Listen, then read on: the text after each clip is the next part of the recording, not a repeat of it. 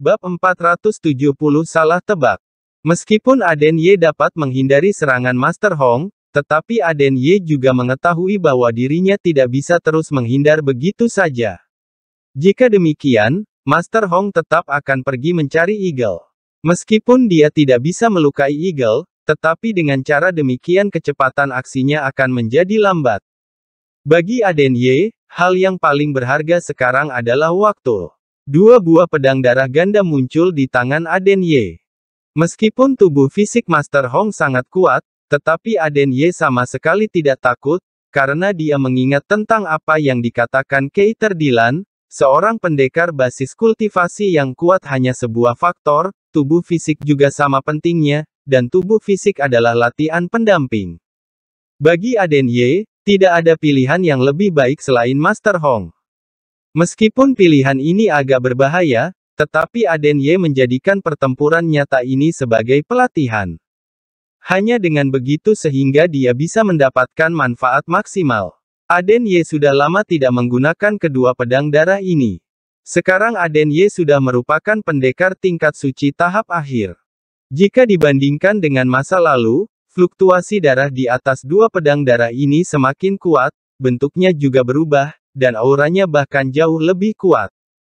Aden Ye memegang pedang darah ini, cahaya darah berkedip-kedip pada malam yang gelap, dan terlalu banyak dorongan dari sayap naga yang berada di belakangnya sehingga momentumnya sudah dapat menekan Master Hong.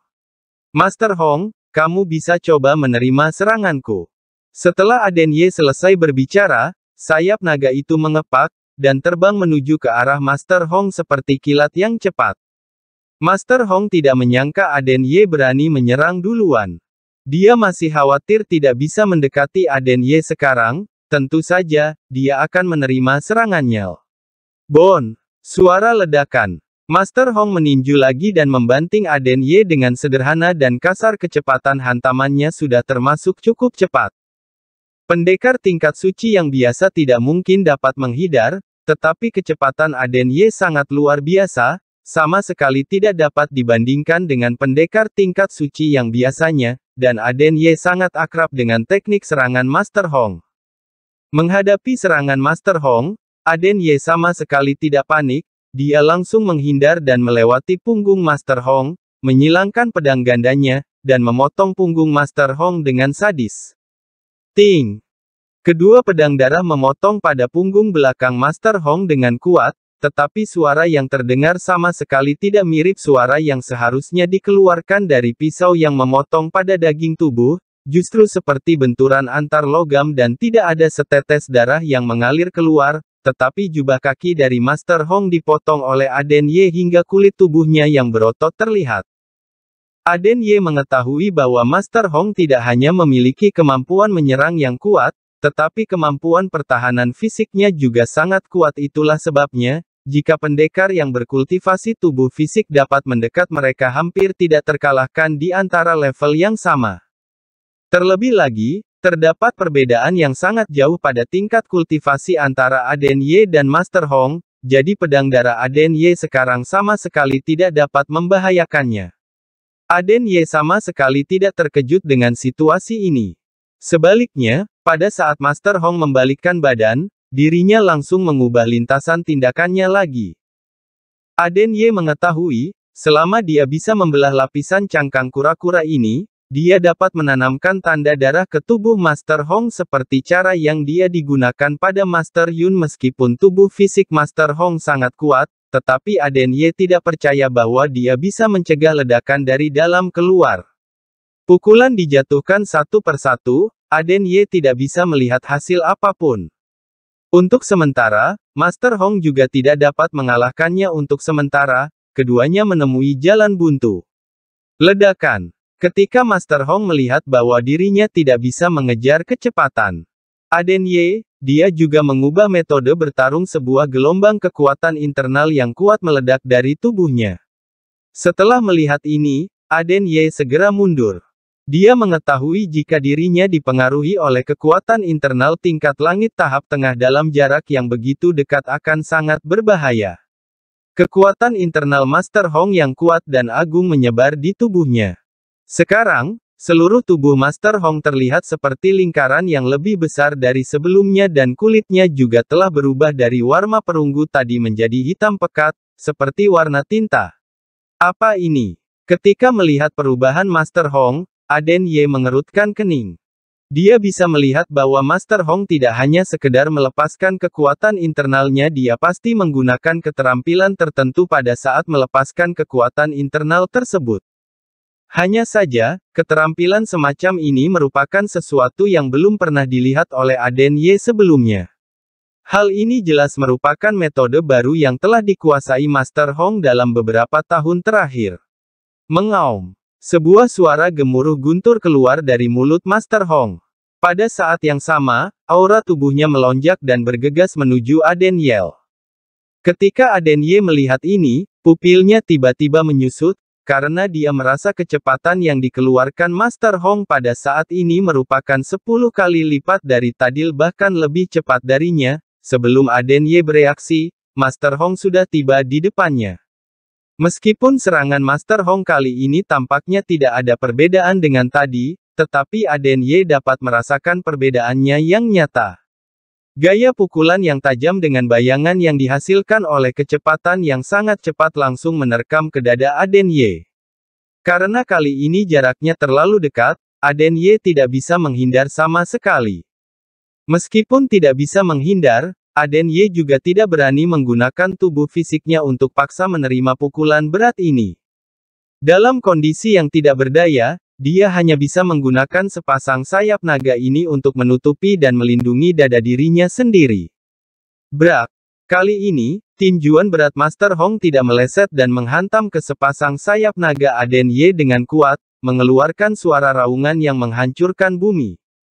Sayap naga Aden Ye bergetar hebat, karena sekarang sayap naga ini telah menjadi bagian dari tubuh Aden Ye, sehingga Aden Ye bisa merasakan sakit yang serius dari sayap naga ganda ini dengan jelas. Kali ini, dia salah menebak dan meremehkan musuh. Sebenarnya, hal itu juga tidak bisa dianggap meremehkan musuh. Kecepatannya kultivator dengan mengutamakan tubuh fisik sebenarnya memang relatif lambat. Ini adalah fakta yang tidak berubah, tetapi Aden Ye tidak menyangka bahwa Master Hong sudah memikirkan cara lain untuk memperbaiki kelemahan dirinya. Setelah menerima pukulan ini, tubuh Aden Ye bergegas mundur dia mengetahui bahwa sayap naganya tidak bisa terus-menerus menahan pukulan yang begitu kuat. Meskipun saat ini kecepatan Master Hong sangat cepat, tetapi Aden Ye tahu bahwa kondisi Master Hong ini pasti memiliki batasan waktu. Jika tidak, Mengapa dia tidak menggunakan metode ini sejak awal? Aden Ye tidak salah menebak. Master Hong memang menggunakan sebuah metode rahasia yang memiliki batasan waktu. Selama waktu ini, kecepatan, kekuatan, dan kekuatan fisiknya akan meningkat pesat. Aden Ye seharusnya merasakan beruntung, jika tadi bukan karena keberadaan sayap naga ganda itu, pukulan berat dari Master Hong sudah cukup untuk merenggut nyawanya. Bab 471 Jaring Langit Menghadapi situasi seperti itu, Master Hong juga sedikit terkejut, dia tahu betul seberapa kuat pukulannya. Bahkan yang kuat di level yang sama. Terima pukulan ini. Bahkan jika dia tidak mati, dia pasti akan terluka parah, tapi sayap naga ganda Aden Ye. Tapi sepertinya tidak terlalu terpengaruh. Sayapnya tidak mudah. Master Hong menyipitkan matanya dan menatap sayap naga di belakang Aden Ye. Dia menemukan. Setelah menerima pukulannya sendiri, sayap Aden Ye tidak ada sedikit pun jejak yang tersisa dengan intensitas seperti itu, Master Hong merasa bahwa tubuh fisiknya mungkin lebih rendah dari itu. Aku ingin melihat. Kamu bisa menerima berapa pukulan. Mata Master Hong dipenuhi dengan niat membunuh. Dia sekarang penuh rasa ingin tahu tentang sayap naga di belakang Aden Ye, dan kondisinya saat ini sangat terbatas untuk mengalahkan Aden Yel. Setelah berbicara, sosok Master Hong bergegas ke Aden Ye lagi, dan Aden Ye juga mengetahuinya. Dengan kecepatannya saat ini, dia tidak bisa menghindari serangan Master Hong sama sekali. Jadi, sekarang situasinya, bisa dikatakan sangat berbahaya. Sama seperti sekarang, menghadapi pengejaran Master Hong, Aden Ye juga mundur dengan cepat, tetapi jarak masih terus semakin dekat, Master Hong segera datang ke Aden Ye Lagil. Terlalu cepat. Aden Ye diam-diam terkejut bahwa kecepatan yang ditunjukkan Master Hong kali ini bahkan lebih tinggi dari sebelumnya dalam keputusasaan, Aden Ye hanya bisa mengangkat pisau gandanya untuk melawan, karena dia tidak tahu apakah sayap naganya bisa menahan serangan. Bom! Itu adalah pukulan sederhana lainnya kali ini, pukulan berat Master Hong langsung mengenai bilah darah yang disilangkan Aden Ye di dadanya, dan kedua bilah darah itu pecah dan berubah menjadi dengan cahaya berdarah di langit, bilah darah Aden Ye menjadi kuat. Tapi perbedaan kekuatan antara dia dan Master Hong masih terlalu besar. Setelah mematahkan pedang darah Aden Ye, pukulan Master Hong tidak bermaksud untuk berhenti sama sekali, tetapi langsung menuju ke dada Aden Ye, tapi kali ini, Aden Ye tidak punya waktu untuk mengerahkan sayap naga untuk melawan. Karena dia tidak menyangka bahwa bilah darahnya hanya akan bertahan kurang dari satu detik, dan itu akan hancur hampir seketikal. Bumem. Ada suara keras lainnya, tapi kali ini, tinju Master Hong mengenai dada Aden Ye dengan kuat, dan tubuh Aden Ye juga kehilangan keseimbangan dan jatuh ke laut seperti bola meriam. Tentu saja, Master Hong tidak akan melepaskan kesempatan ini untuk mengejar, dan langsung mengikuti arah jatuhnya Aden Ye. Setelah menerima pukulan Master Hong, Aden Ye hanya merasakan sakit yang luar biasa di dadanya, dan kekuatan internal di tubuhnya juga bergolak. Jika bukan karena bilah darah untuk membebaskannya dari suatu kekuatan, Aden Ye merasa bahwa sekarang dia pasti telah terluka parah. Melihat sosok yang dikejar oleh Master Hong, Aden Ye juga tahu bahwa kondisi fisiknya tidak memungkinkan dia untuk menerima pukulan lagi dari Master Hong. Aden Ye mengeluarkan botol porselen kecil dari tangannya. Ini juga salah satu pil yang diberikan Jerson padanya. Awalnya, Aden Ye akan menggunakannya untuk melawan Benny Zuo, tapi sekarang sudah mendesak. Saat tubuh Aden Ye hendak jatuh ke permukaan laut, dia menuangkan pil hitam dari botol porselen putih dan melemparkannya langsung ke arah Master Hong. Master Hong melihat pil hitam terbang. Meskipun dia tidak tahu apa itu, dia secara naluriah mengatakan kepadanya bahwa pil ini pasti tidak sembarangan. Hanya saja sebelum dia bisa melarikan diri, pil hitam itu langsung menjadi jaring besar dan langsung membungkusnya. Nama pil ini disebut jaring langit, dan di antara empat pil yang diberikan Jerson kepada Aden Ye, satu-satunya yang memiliki kemampuan menyerang. Menurut perkenalan Jerson, yang kuat yang terbungkus dalam jaring langit ini, Selama di bawah tahap akhir langit, dapat terjebak setidaknya satu jam untuk menerobos bahkan kekuatan puncak dari tahap akhir langit dapat ditahan selama sekitar setengah jam. Pil yang sangat kuat, jika situasi saat ini tidak terlalu parah, Aden Ye benar-benar tidak mau menggunakannya. Apa ini? Master Hong mencoba yang terbaik untuk merobek jaring hitam besar yang membungkusnya, tetapi dia menemukan bahwa tidak peduli seberapa banyak dia mendukung jaring besar itu, selama dia melepaskannya, jaring besar itu akan langsung siap, akan dikembalikan ke keadaan semula, dan tubuhnya tidak dapat dikeluarkan darinya. Aden Ye lega saat melihat Master Hong telah terbungkus jaring besar meski sedikit boros, untungnya tujuannya tercapai.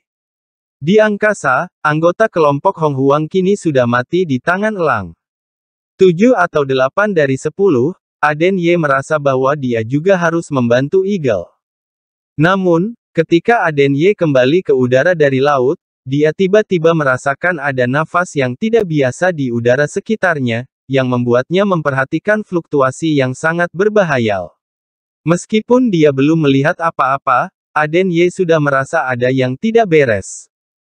Dia tahu itu sebagian besar karena pembantu Master Hong telah tiba. Eagle.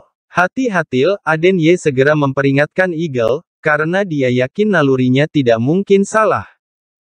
Eagle mendengar apa yang dikatakan Aden Ye, meskipun dia tidak merasakan apa-apa, dia masih memilih untuk percaya pada Aden Ye, cahaya keemasan tiba-tiba menyala di bawah kaki Eagle, itu adalah formasi emas yang tak berujung di malam yang begitu gelap, itu seperti matahari yang sangat tiba-tiba. Formasi cahaya emas. Sekilas Aden Ye mengenali formasi apa di kaki Eagle benar saja, Master Hong benar-benar ada penolong, dan penolong ini bukanlah orang biasa, tetapi Master Seng. Bersamaan dengan kemunculan formasi, sosok-sosok dengan cahaya keemasan di tubuh mereka muncul di tepi formasi. Ada lebih dari 200 orang. Aden Ye tahu bahwa ini adalah Tiren Sengling. Dulu, Aden Ye sendiri merasakan kekuatan formasi cahaya emas ini. Meski akhirnya berhasil memecahkannya, butuh banyak energi. Formasi ini adalah formasi yang benar-benar bisa menjebak kekuatan puncak di tahap akhir surga. Pada saat yang sama, cahaya keemasan menangkap Master Hong yang masih berjuang di jaring langit dan bumi, dan akhirnya berdiri tepat di seberang Aden Ye.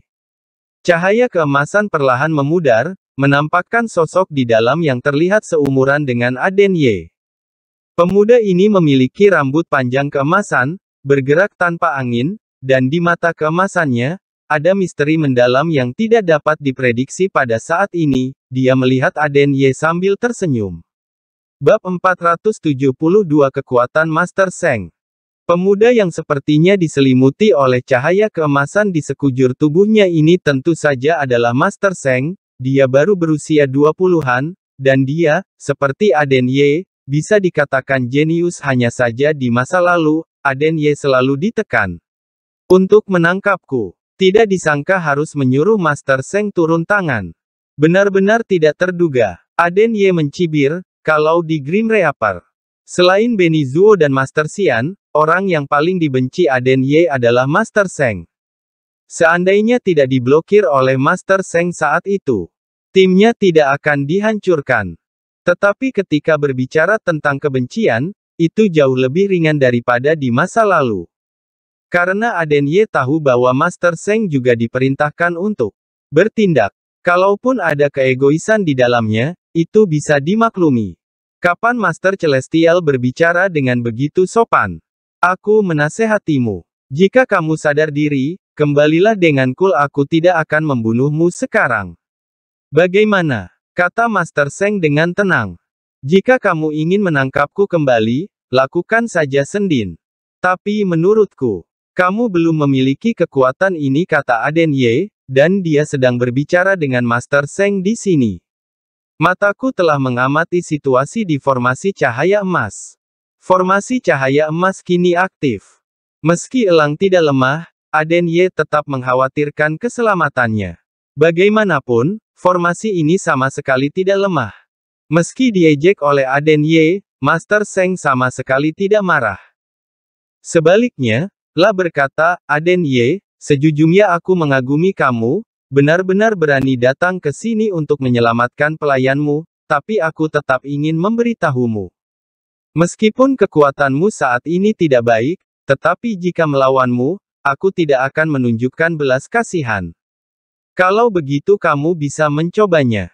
Aden Ye juga tahu bahwa dia sama sekali tidak bisa menjadi lawan Master Seng, tapi dia bahkan tidak bisa mengakuinya. Jika dia bahkan tidak bisa melewati level Master Seng, bagaimana dia bisa menyelamatkan Louis? Aden Ye, aku juga tidak mengganggumu. Dengan cara ini, aku bisa menekan kekuatanku melawanmu di tahap akhir alam suci. Bagaimana? Master Seng tertawa dia selalu menganggap Aden Ye sebagai lawannya, jadi dia tidak mau menempati Aden. Kamu pelit, dia ingin membuktikan bahwa dia lebih baik dari Aden Ye tidak peduli apa situasinya. Master Seng, hal yang paling penting sekarang adalah menangkap pengkhianat ini kembali. Master Hong masih berjuang di pinggir lapangan, mengingatkan Master Seng tidak boleh menunda organisasi karena keegoisannya. Diam. Master Seng memelototi Master Hong dan melanjutkan, pusat kekuatan alam surgawi tingkat menengah yang bermartabat, bahkan seorang kultivator alam suci kecil tidak dapat mengalahkannya. Kualifikasi apa yang kamu miliki untuk memiliki nama Master Hong?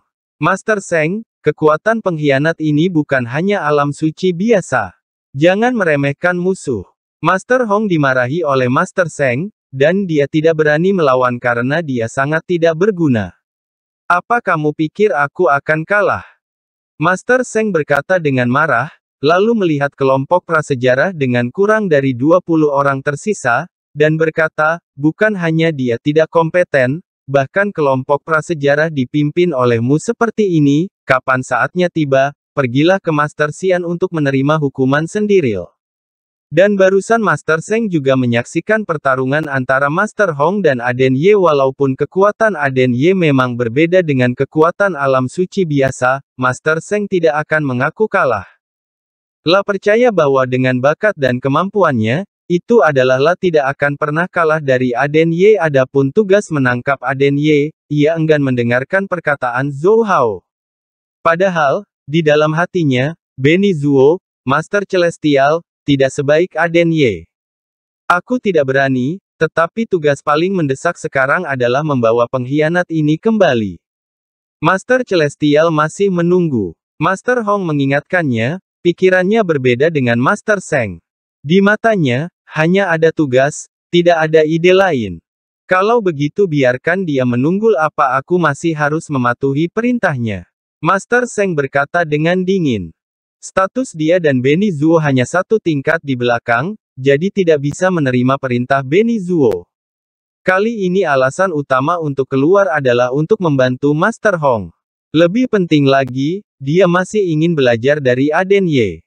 Dalam pertempuran tahun itu, dia memang tak terkalahkan, dan sejak Aden Ye pergi, dia pergi lawan, meskipun Benny Zuo mengalahkannya beberapa waktu yang lalu, Master Seng masih belum merasa Benny Zuo layak menjadi lawannya.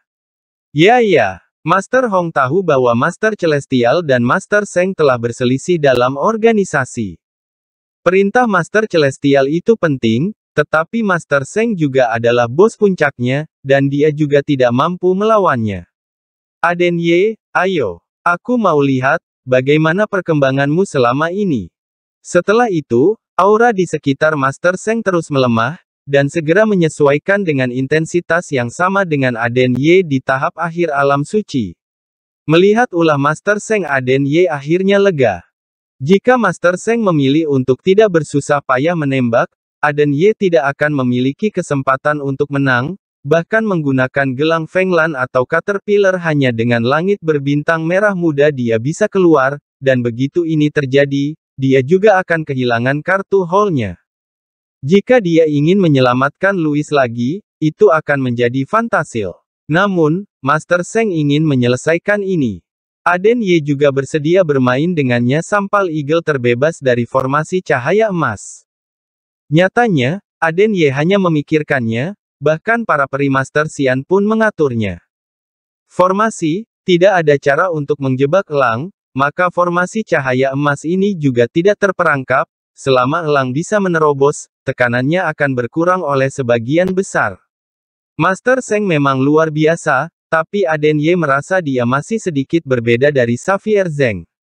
Dalam hal ini, bahkan Xavier Zeng bukanlah lawannya di level yang sama seberapa besar kekuatan Master Seng.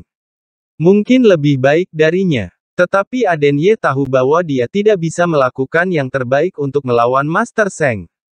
Begitu Master Seng dipaksa untuk melompat dari tembok dan menggunakan semua kekuatannya, maka penundaannya tidak akan berarti lagi. Merasakan kekuatan yang datang dari tubuhnya, Master Seng melangkah ke tingkat surga untuk waktu yang lama. Kekuatan alam suci ini sangat aneh baginya sekarang, tetapi dia masih memiliki kepercayaan diri untuk dapat mengatasinya dengan kekuatan seperti itu, dan mengalahkan Aden Ye.